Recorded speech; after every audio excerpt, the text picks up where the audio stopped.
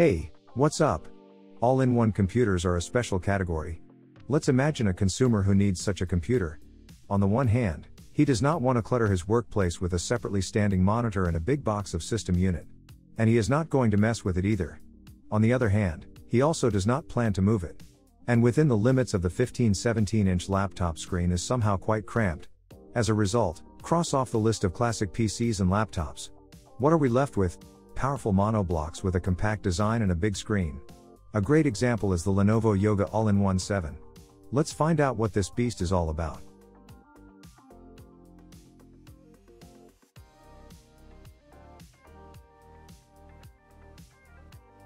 At first glance, there's no way to tell that this is a full-fledged, powerful computer. Outwardly, the Yoga All-in-One 7 looks more like a designer's monitor. Yes, the first thing that catches your eye is the large screen surrounded by thin bezels. It's a 27-inch IPS panel with 4K resolution. That is 3840 by 2160 pixels. The color gamut is 95% of the color space DCI-P3. And the maximum brightness of 400 nits. The refresh rate is 60 Hz. The rectangular stand behind the screen is the main body of the computer. The design allows you to tilt the case with the screen forward and backward, adjust the screen height and even rotate the screen 90 degrees in portrait orientation. The latter is most likely to be appreciated by IT people, and those who work with vertical photos and videos.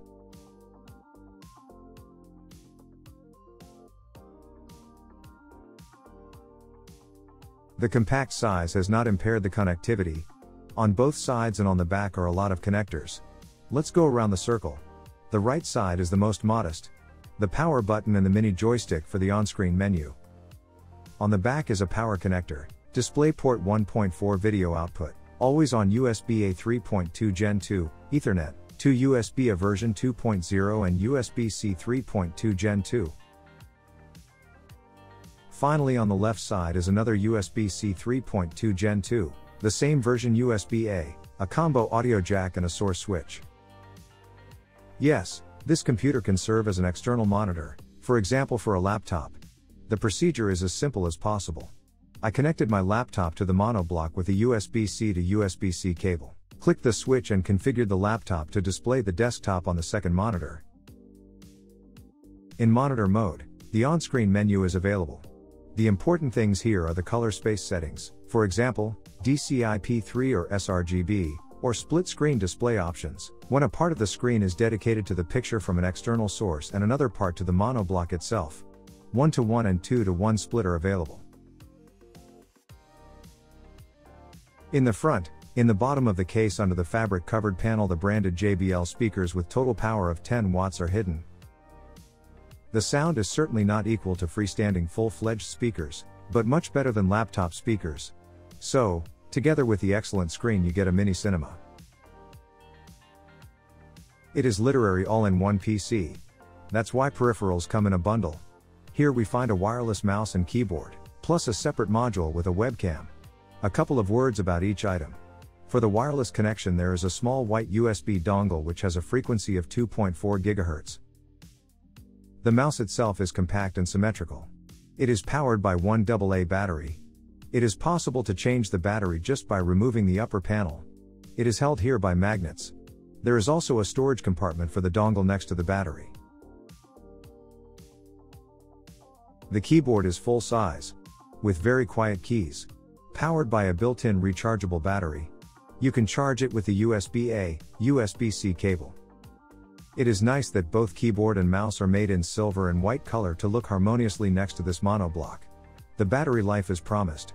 For mouse, up to 12 months, for keyboard, up to 2 months without recharge. Finally, the last accessory in the set. On the top end next to the two microphone holes there is a separate connector, covered with a rubber cap. That is where the webcam is inserted. It is held there securely by magnets, the design allows adjusting the tilt and has a physical curtain for the fans of maximum privacy.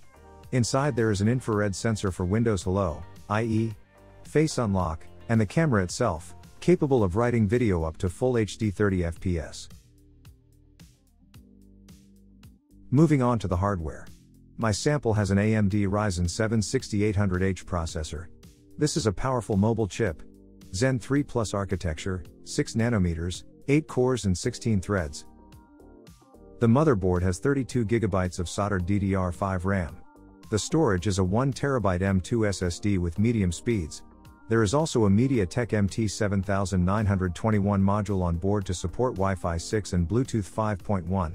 An AMD Radeon RX 6600M discrete graphics card with 8GB of GDDR6 memory is responsible for the graphics. All this stuff is cooled by two fans and six heat pipes. The upgrade options are not the most varied. And it wouldn't be logical to take this type of PC to mess around under the hood. In fact, you can add another M2 format SSD and replace the wireless module. That's all. I want to say right away that the computer is really powerful and easily capable of handling any task.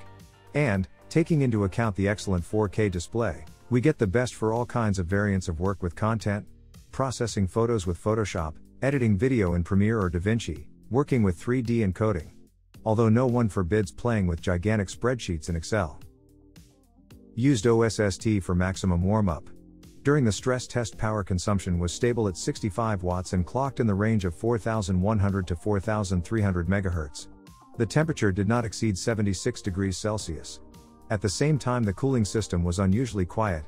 It barely rustled. I was pretty surprised, especially if you remember, how even the quietest gaming laptops with similar hardware howl at such load. In the case of this monoblock you can even play without headphones. For those who like details a small block of performance tests of the processor. Cinebench showed 1,377 points in the single core and 13,056 in the multi-core test.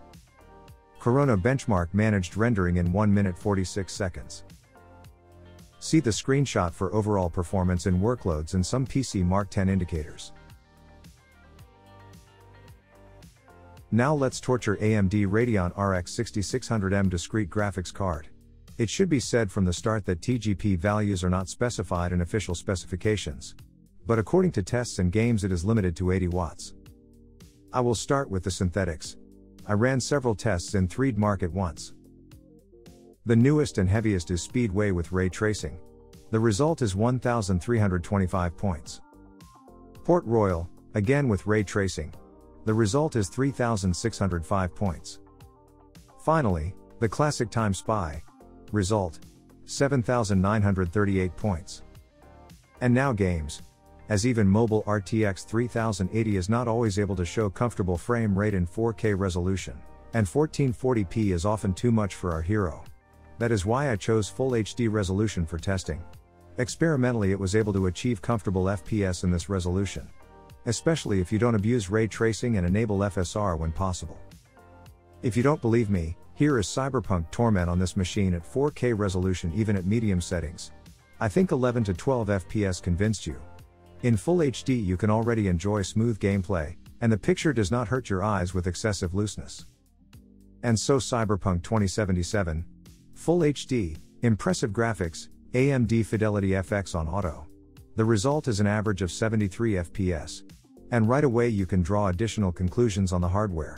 The graphics card is almost fully loaded and almost constantly running around the maximum for this implementation of 80 watts. At the same time in terms of temperatures all is very good. The CPU heats up not more than 73 degrees Celsius, and the graphics card not more than 59 degrees Celsius. The cooling system is only barely audible. Horizon Zero Dawn. The same Full HD, ultimate quality, average 86 FPS. Shadow of the Tomb Raider. Graphics quality is the highest, averaging 103 FPS. And then there's the power supply question. Since the case of the monoblock is thin and slim, and the hardware is powerful, enough power supply is implemented, as in laptops, in a separate unit. This is a 300 watt brick.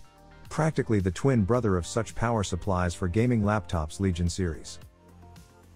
Prices and conclusions the Lenovo Yoga All-in-One 7 in my configuration costs about 1,800 euros or $1,600. It doesn't seem cheap. On the other hand, if you consider the hardware and the form factor is quite an adequate price tag. The space it takes up is much less than a traditional desktop PC and the screen size is much larger than that of a notebook. It is the perfect choice for those who want high performance and a big screen in a relatively compact size. At the same time, the stylish design will not spoil any interior. So, If you want a powerful all in one computer, the Lenovo Yoga All in One 7 is one of the best options today. Although, for such requests, of course, you will have to splurge. That's been it. Thank you for watching. Don't forget to like and subscribe. See you next time.